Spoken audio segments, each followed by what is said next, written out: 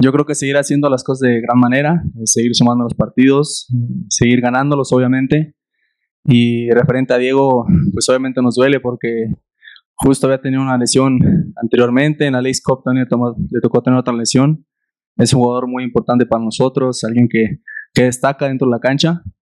Eh, esperemos que se recupere lo más pronto posible y que pueda sumarnos al grupo. Eh, para eso me estoy preparando, para eso estoy trabajando. Eh, fue un, un mes eh, pasadito que, que, me tocó estar fuera. Obviamente los compañeros cuando les tocó lo hicieron de gran forma.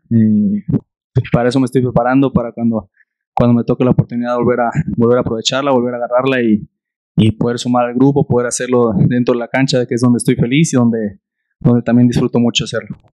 Eh, estamos viéndolo un partido a la vez, estamos eh, yendo paso a paso, creo que estamos siendo mesurados como se debe ser, no nos estamos creyendo ya campeones por ir tan, tan de buena manera, estamos yendo muy tranquilos, estamos siendo eh, muy sinceros en lo que hay que trabajar, en lo que hay que mejorar.